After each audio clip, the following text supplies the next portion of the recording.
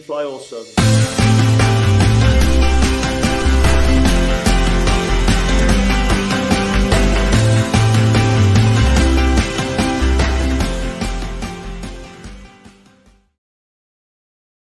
Charlotte Soccer Show. We're back with a very special episode.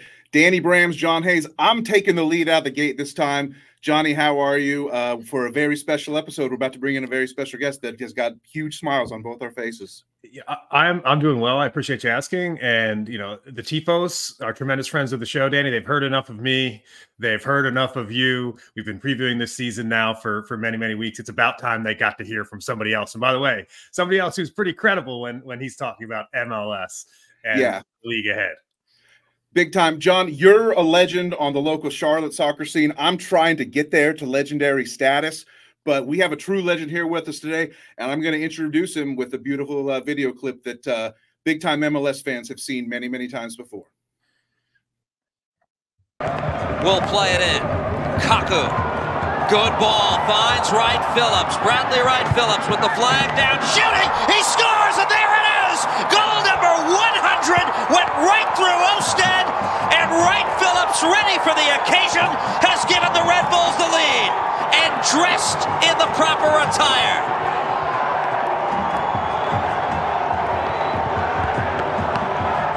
He didn't expect it this soon, and look at this goal. A mistake by Ousted. We talked about the weather, the rain. Bradley Wright Phillips knows if he gets a look, cut it back to the right foot, whips it near post, skims under Dave Ousted. Bradley Wright Phillips, number 100. He's going to take it, baby.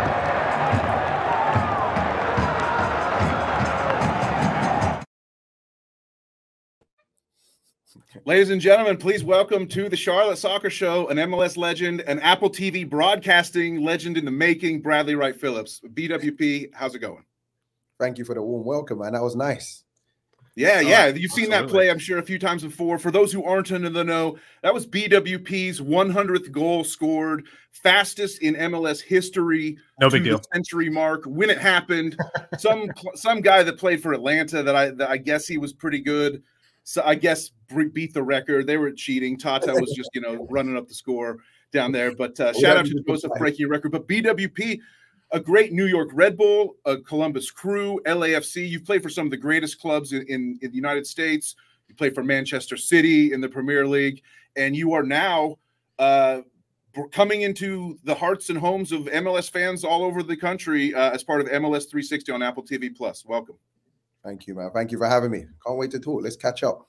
Yeah, if I could jump in here, Danny. I mean, the first thing I want to uh, you know ask uh, Brad is simply MLS in general, right? Like you've you've now been such a great player in this league, and now you have the ability to represent this league in this is brand new way, if you will. Year two of, of MLS on MLS Season Pass on Apple TV. It's it's been an amazing resource for fans. What's it been like for you to make that jump from hey, I'm on the field, I'm scoring goals, to now I'm in your living room uh, yeah. uh, talking about the league? Yeah, um, weird in the beginning, you know. Um, I'd never done anything like this before. Uh, when I retired, I wasn't sure what I wanted to do. I know I wanted to get rest. That didn't go to plan. I haven't slept since I retired. So that's been hard, but it's been fun. Learning on the job, it, has been fun. You know, when they throw a camera in your face, an earpiece in, and then ask you to talk about the game, it's a lot more difficult than than I would have thought. But I feel I got more comfortable on set, and yeah, I'm enjoying it. The tough part is though talking about players you know you don't want to offend anyone, but you also have to be true to yourself and be real about the game. But it's been really good and enjoyable experience. Yeah, talking about players you know, uh, Bradley, you want to get into a guy who was a teammate of yours for many years uh, in the New York Red Bulls and now is a favorite here uh, locally here in Charlotte. Uh, Lloyd Sam is a broadcaster. He's going to become a broadcaster just like you, and he's become a huge fan favorite. Everybody loves him. Why don't you tell me a little bit about this picture here that we found? There's you going to work on Michael Bradley, American soccer legend, and there's Lloyd just kind of staring in the background. He's not helping you out at all, man. What happened? Just doing nothing as per usual. He just wants me to go do all the work and, and get a goal. I need you, Lloyd. I need you to come and double press or make an angle for me so I can play you. Um, nah, Lloydie, man. That honestly is like a brother to me. Um, yeah. And let's shout him out quickly on the commentary side of things. Listen, this is a man that was was grinding, you know, doing shows by himself with with little to no experience. And I think for me personally, not being biased, he's like one of the, the better, you know, commentators we have in this country. He's been he's been really good. I'm happy for him, and I, and he talks to me about Charlotte like every day. We play Call of Duty together at night, so he's always talking about how nice the city is, how good the people are, and how he feels about the franchise in general. Nice. We're gonna we're gonna talk to you about Charlotte too, for sure. We're definitely I, gonna talk I, to you about Charlotte. I, I got to know how's the Call of Duty game though. I mean, you're just playing every night. Yeah, man. We squad up. Me and Lloyd. We we don't. If he's not playing, I'm not playing. If I'm not playing, he's not playing. We're good. We're not bad. There's room for improvement, but we're a good little duo. Always. Let me mention that Lloyd is do is I saw the uh, announcement the announcer teams announced today for the first week of the season. Danny, I think it was announced today, but I saw yep. Lloyd was on the Charlotte uh, New York City FC yep. call uh, this Saturday night at the Keep, which is going to be amazing to have Lloyd on that call. And then mm-hmm. WP, you're going to be in the MLS 360 booth as well. So h- how does that work, right? Where you're you're sitting in the the studio, you're watching all these games. Um, you're bouncing around from game to game. Are you assi- assigned a couple games to keep an eye on beforehand, or or is your head on a swivel, trying to keep up with many games that kick off at the same time?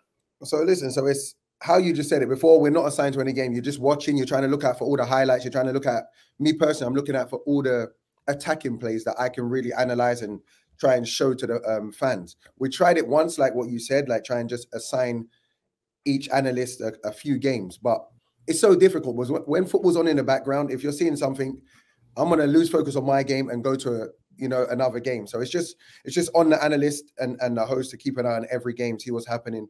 Also production team will help us out and let us know if um, if there's something we need to see. But it isn't easy. I think that was the toughest part of 360 last year. It was because we're in studio we're not getting to watch 90 minute the 360 show especially we're not getting to watch a 90 minute game. So i don't want to now talk about charlotte in depth that's why we try and just keep it to the highlights, the good plays, talking points, because it would be unfair of me to talk about Charlotte the whole game if I've just seen they lost 2 1.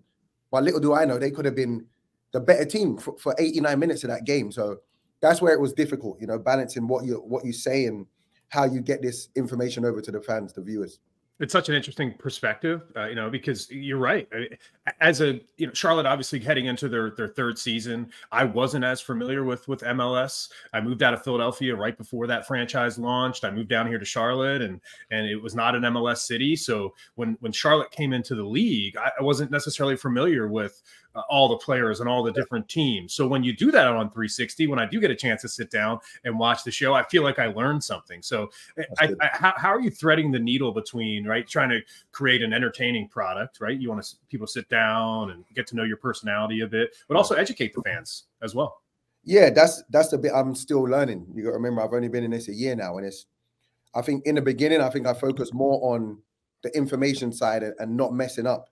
But now I just want to be uh, Bradley. Um, when I sit and talk to my friends about football, you know, we have highly informational, intelligent conversations, but I'm not, I'm not acting a certain way. I'm being myself, and eventually, I want to get to a place where I'm talking like this. You know, I think even this is way more comfortable for me than when you're on a show because there's a lot of things that go into it. But yeah, eventually, I want it to look like this. I want it to feel as natural as possible. I want people to to know Bradley. I think if you've watched MLS over the years or even a bit of English football, you just know the goal scorer. You know the guy that's moaning when I don't get a chance, uh, a foul. You just know, you know, I mean, just the the player. And now it's just my time to to show people, you know, how I am as a person. I got a little sense of humor, and I can talk about goals and attacking plays in depth. So that's what I'm trying to bring across.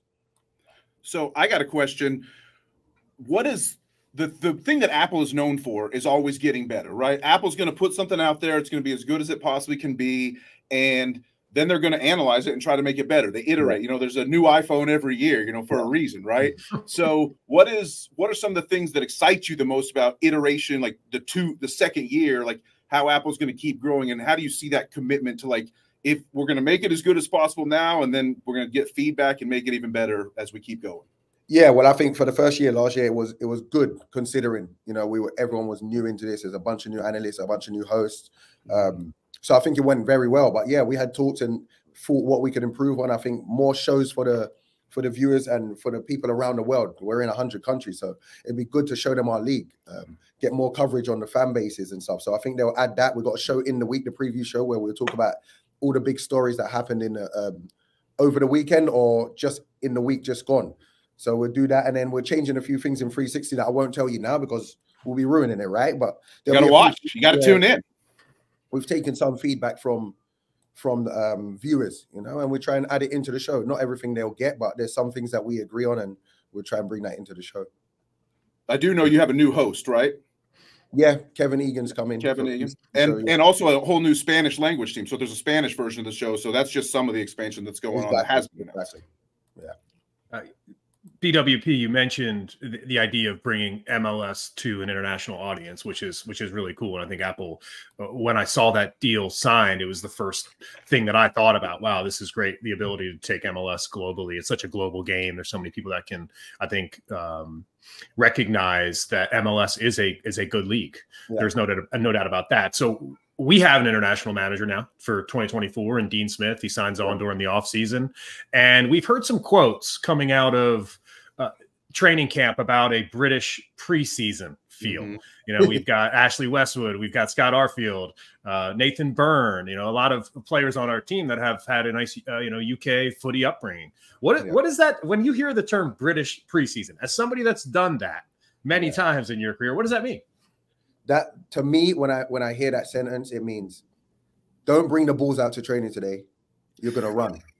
It, means you don't need your boots, you don't need balls, you're gonna run. That's that's a, that's what I envision. I guess nowadays um, the game has changed. I think there'll be a lot more football, but what I will expect from Dean Smith is, yeah, it will be tough. It will be, it will be honest. I think the advantage we have in the English game or maybe European game, and, and one of the only advantages is that there's a because of relegation, there's more on the line. So Dean Smith, he's not just going to forget, you know, how he coached abroad, like when he was back in England. He's going to bring those same um, those same demands to Charlotte, and I think the players would only benefit from that. When we were going into preseason in England, we had to be ready to to fight all season long, so we don't get relegated, so people don't lose their jobs. And I think for any English coach, any English player that comes over to America, I think you have to use that as a as a superpower almost. I think that's what got me through you know, my MLS career. I felt like I had an edge because I I took every game, every chance I had to score.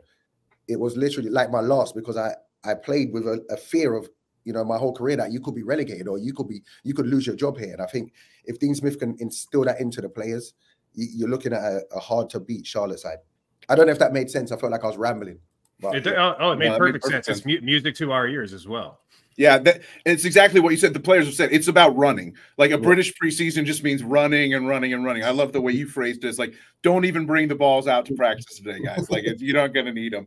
Yeah. Um, I and I think like it's interesting. It's kind of funny that our tagline here on Charlotte FC is for the crown. You know, so it's it only fitting. You know that we have like a lot of the British influence. and I think it'll help us because one of our characteristics last year was losing leads late, conceding late goals and things like that. So I think fitness and just like you can never be too fit, right? You can always be, you know, be a little bit faster. Exactly. It, it helps you in the, in later stages of the season, later stages in the game, knowing that you're fitter, knowing that you have 10% more in the tank. It, it can get you over the line. I tell you, our Red Bull team was like that. We knew we could we could at least run further than the other team. Uh, you, you, mentioned Red Bulls. We've already shown a, a, a, Red Bull highlight on the show, which, by the way, we're, we're making a special exception for our special guest on the show doing that. Because what's happened quickly, BWP, is, is that in these first two seasons for Charlotte FC, you start to develop rivalries and teams mm-hmm. that you go up against and feel yeah. like there's some history there. And you get knocked out of the U.S. Open Cup in the first season against Red Bulls, and then you go play them in the playoffs and you get spanked as well. Um, so Red Bulls, you know, Charlotte has has a bit of a chip on the shoulder against uh, New York Red Bulls team. What do Red Bull look like this year? And and uh, do you think this this matchup between Charlotte and, and New York Red Bull can turn into a bit of a rivalry? Well, first of all, on your comment just about the the the young rivalry, I think that's amazing about um. You know, there's new when expansion teams come in or just new teams, we get to see that live, like a, a rivalry, like hate building. You know, and it will it will make for classic games. On in terms of the Red Bull team, I think last year they had an amazing defense. If you look at Red Bull's defensive record, the, the goals they conceded, it's up there with you know. Uh, a shield winning team. They just couldn't get it done on the other end uh, often enough. I think they bring in now Emil Forsberg, mm-hmm. who was at the end of the season. Uh, Great signing.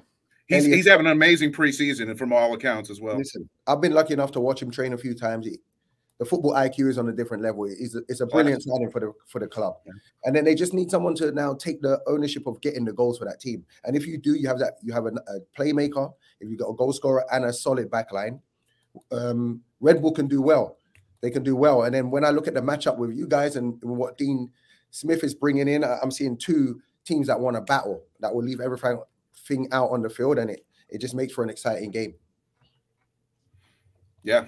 Well, I, I hope they don't find someone to do the, to do that scoring that you mentioned because I hate New York Red Bull, New Jersey Red Bull, as I like to call them. But it's not personal against you, BWP. I am a huge respecter of your work in this league, and and now with Apple on 360 and everything you're doing. Thank you. Yeah, it's been great. Thanks for, so much for, for joining our show today. And I think you know part of the reason we wanted to do this is create a touch point. You know, there's so many fans within the Charlotte FC fan base that that tune into MLS Season Pass and get to know somebody like yourself um, on a show like this. I appreciate you taking your time because now I think when Charlotte FC fans can sign in and and watch 360, they say, "Oh, there, there's there's BWP." You got to know him. a There's little bit. Just to the Charlotte fans out there, I'm a friendly guy, man. You you can root for me, man. We're family Well, now. we, the No national the national media has, all- has all picked us at the bottom. Like all the MLS pundits have us at the bottom. So we have a little bit of a chip on our shoulder about that. but that's good. What happened with St. Louis? We done that with uh, St. Louis last season. Look how they played. Those things Amazing. Carry a team. You need a chip Yeah. on your shoulder. It's it's it's so difficult. I mean, the league is growing so quickly. There's so many new players every year coming into the season, and you know, I told Danny before we did our prediction show uh, for our season preview episode. I said, "Hey, just so you know, Danny, none of these predictions actually matter because MLS is so difficult to so predict. to, yeah, it's so Yes. difficult. It is. No. So we we appreciate you taking the time, Come back. and uh, just just back, one final. come back throughout the season, BWP. Yeah, we, we've got to get you back on here at some point. for sure. I got a hot take actually. So yeah, I'll come back in the season. I'm going to tell you this now. Enzo Copetti will be in the in the argument for uh, Golden Boot. I don't know how far up that thing, but I think he will be in there. I, I looked at some of his goals from last season. I love his movement around the box, his desire to score goals. If you can get someone that can really get him service, two chances a game, you- you're looking at a real, a real exciting prospect of a of a goal scorer. We're we're vibing on this show, and I'll tell you why. Is because Danny asked me if that was my final question, and I said yes, and I was kicking myself very quickly because I wanted to ask you about Enzo, but you answered the question that I was thinking about that I didn't ask. And I spoke to him in Miami. He told me he's going to get 50 goals. So you heard it here first. 50? He said 50. I don't know if he understood my English properly, but he said 50. Well, we both know Enzo's a confident guy. There's no doubt about that. And I think, I think honestly, some of the MLS rule changes this season will benefit Enzo. yeah. uh, as far as trying, you know, he, he's a player that like to slow the game down a little bit, spend a lot of time on the floor, and now with the league trying to to to regulate that a bit, I think Enzo's going to have a good season because of that. But cheers to you, BWP, and and if you get a chance to come down to Charlotte this year, um, we've got a we've got a party waiting for you at Hot Fly. We'll get we'll get Sam over there, Lloyd over there, and then we'll have a good time with it. So cheers to you. Good, man. Thanks for having me. Cheers. Good luck this season. Thank you. Bye bye. Peace. For the crown, baby.